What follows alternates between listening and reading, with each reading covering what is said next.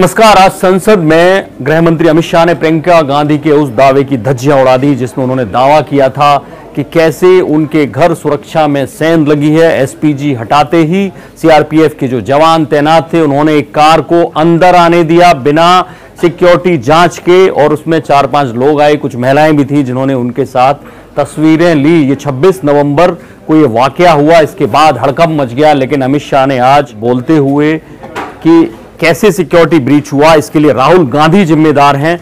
राहुल गांधी को उस वक्त आना था, वो उसी तरह की काली कार में आना था। इसके साथ ही उन्होंने बताया कि कैसे जो कार घुसी उनके घर में, वो एक कांग्रेसी नेता की कार थी। सुनिए।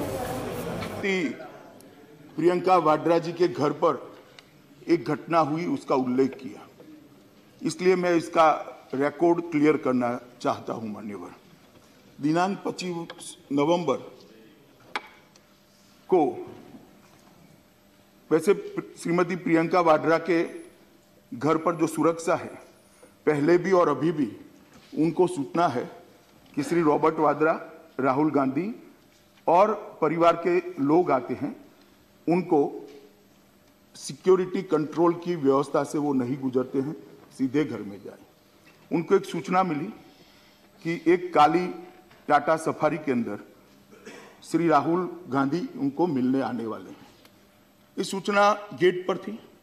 उसके बाद में एक टाटा सफारी, काली ही टाटा सफारी आई और इसके अंदर श्री राहुल गांधी की जगह सुश्री शारदा त्यागी, अध्यक्ष कांग्रेस कमेटी, खरगोड़ा, मेरठ मेरठ, चार पार्टी वर्कर के साथ उनको मिलने आई। चूँकि काली गाड़ी ही थी, समय भी वो ही था, बड़ा इत्तेफाक था। तो वो सिक्योरिटी चेकिंग के बगैर अंदर गए। मगर जैसे हरिप्रसाद जी ने कहा वो कांग्रेस कांग्रेस प्रोटेक्शन क्या कहा था? CRP Congress reserve protection force के मेंबर थे।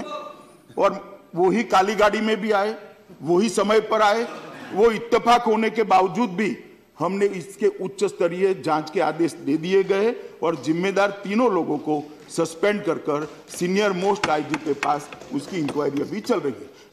तो राहुल गांधी उसी तरह की कार में उसी वक्त आने वाले थे, इसलिए कंफ्यूजन हुआ सिक्योरिटी एजेंसीज को और राहुल गांधी और गांधी परिवार के जितने भी सदस्य हैं, उनकी सिक्योरिटी जाँच नहीं होती। तो उसका फ़ायदा, उस कार को मिला जो इतफाकन उस वक्त आई। शारदा त्यागी 40 साल से कांग्रेस से जुड़ी हैं, मेरठ की हैं, खरखोदा की हैं, उनके बेटे चंद्रशेखर त्यागी लड़ रहे हैं, खरखोदा से दावा कर रहे हैं कि मुझे एमएलसी की टिकट मिलेगी और इसलिए लगातार अपना प्रचार कर रहे हैं और शायद इसी सिलसिले में प्रियंका गांधी से मिलने आई होंगी शारदा त्यागी।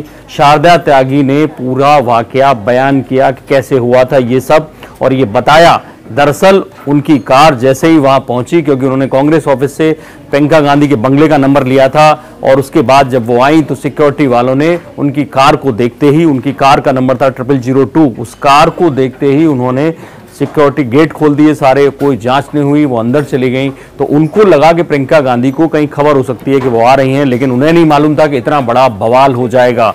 तो ऐसे में प्रियंका गांधी के बारे में सीधे सीधे अमित शाह ने जो जवाब दिया है वो राहुल गांधी के लोगों को क्योंकि राहुल गांधी के लोगों ने वहाँ पे खबर की होगी कि राहुल गांधी आने वाले हैं उस तरह की कार में आने वाले हैं।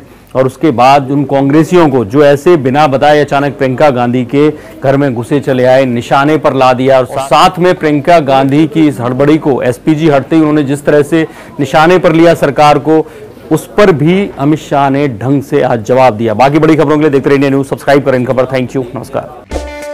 इन खबर चैनल को सब्सक्राइब करें और बेल आइकन दबाना ना भूलें।